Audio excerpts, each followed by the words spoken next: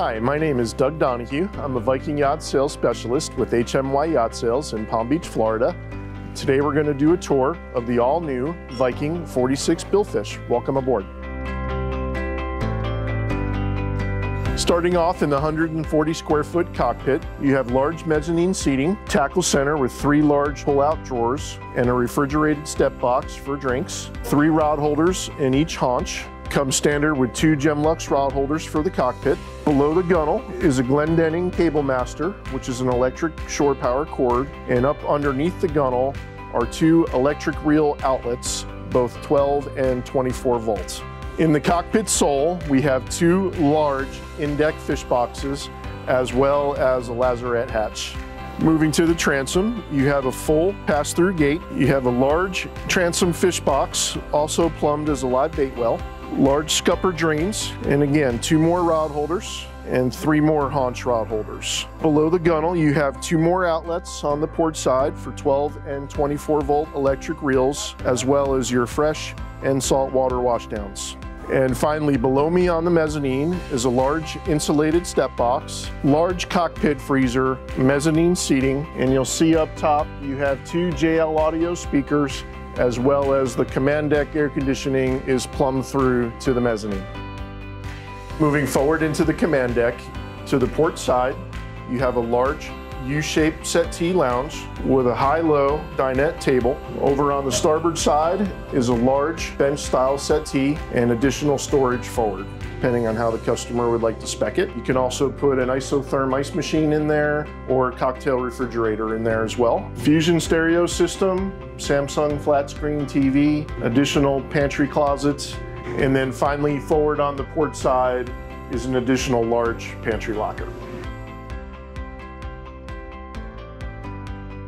Moving down below, we'll start off with the galley. Below me to my right is a Corian countertop. You have storage drawers, and storage cabinets. Below is isotherm refrigerator and freezer, a Samsung convection microwave oven, and a two burner Kenyon cooktop. Forward of the galley are two large hanging lockers and four storage drawers. There's a beautiful teak and holly laminate floor and there's even ample storage beneath the steps.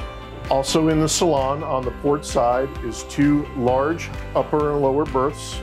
These are wide bunks, so big people can fit in them and be comfortable. Storage underneath, and then a very large head with again a Corian countertop, vanity, stall shower, and Dometic head system.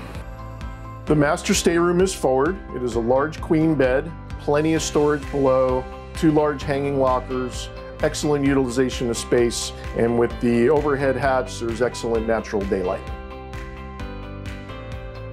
Moving up to the flybridge, there's an aft rocket launcher rail with six rod holders, release marine captain's chair, teak helm pod with Palm Beach style single lever controls. New on this model is the acrylic helm panel with push button switches. That's something we've been doing on the new Valhalla line and the new 54 convertible. Customers love it. Definitely a great feature on this model. Up here you have two large Garmin screens, 4KW radar, depth finder, GPS. You have your controls for your Seakeeper, your autopilot, as well as your Eskimo Ice Chipper and Seakeeper controls. On the pod helm itself, there's Lenco trim tab indicators, as well as bow thruster controls in the throttle handles. Overhead in the hard top, you have two VHF radios, autopilot control again, and then your engine displays.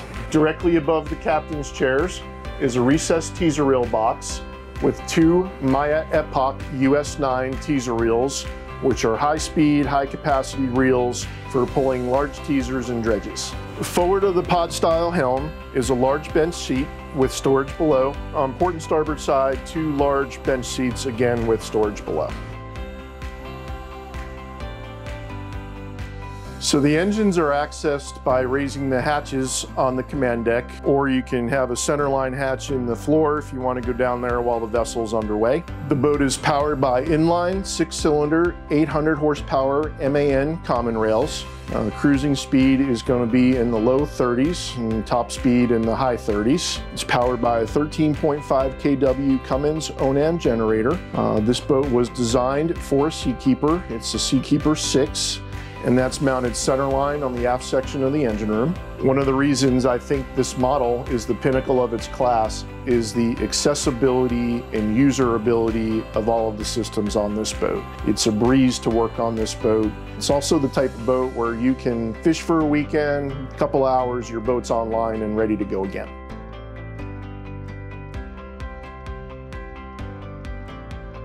And that's a wrap. Thank you for spending a few minutes with us on the all-new Viking 46 Billfish. My name is Doug Donahue with HMY Yacht Sales. If you have any questions about this model or the Viking product in general, check us out at www.hmy.com or give me a call. Thank you.